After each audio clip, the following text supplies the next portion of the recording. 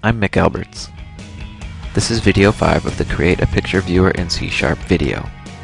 If you haven't seen the first four videos, consider watching those before you watch this one. In this video, you'll learn about methods and statements and how to add comments to code. First, I want to review a few things before I go on. When I double-clicked the Show a Picture button in Windows Forms Designer, the IDE automatically added a method to the code. Most of the time, a method does a small number of things in a specific order, like how the Show button click method shows a dialog box and then loads a picture. A method is made up of statements. When a method is executed or called, the statements in the method are executed in order. Statements in Visual C Sharp always end in a semicolon. Now I want to add a comment to the code. A comment is a note that doesn't change the way the program behaves. It makes it easier for someone to understand what the code does. In Visual C Sharp, two forward slashes mark a line as a comment.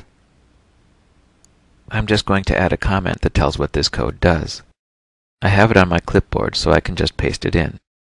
Here's what that comment looks like. Notice the forward slashes. Now I'm going to paste four more methods into the code. I'll paste the code in over the corresponding empty button click and checkbox check changed methods that are already in the code.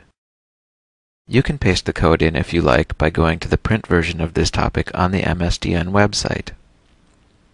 The topic is called Step 10, Create Additional Buttons and a Checkbox but you'll learn more if you type the code and use IntelliSense rather than pasting it in. I'll just briefly explain what these methods do. This first method clears the picture when a user clicks the Clear the Picture button by setting the picture box image property to null. Notice that here and in the other methods I've added a comment to explain what the code does. This is always a best practice. This method opens the color dialog box when the user clicks Set the background color, and, if the user clicks OK, changes the picture box control's background to the color that the user chooses. This method simply closes the form if the user clicks the Close button. And this last method changes the size mode property when the stretch checkbox is clicked or cleared. This specifies what happens when the form is resized. Now the program is finished and ready to run. I'm going to run it by clicking the Start Debugging Toolbar button. And I'm going to set the background color.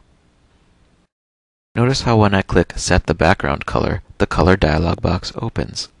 And I'll pick this color. Now I'm going to load a picture that is partly transparent, so that I can see the background color through it.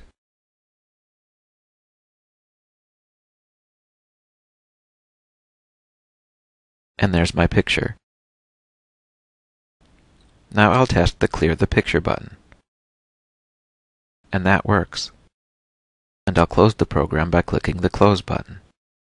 To learn more, you can try improving the program by doing some of the following. Change the color of the form and the buttons by using the back color property. Customize the buttons and checkbox by using the font and forecolor properties. Change the form's form border style and control box properties. Use the form's Accept button and Cancel button properties so that buttons are automatically clicked when a user presses the Enter or Escape key. Make the program open the Open File dialog box when the user presses Enter and close the box when the user presses Escape. This concludes this Getting Started tutorial. To see the print version of this tutorial and other tutorials, search for Getting Started Tutorials on the MSDN website.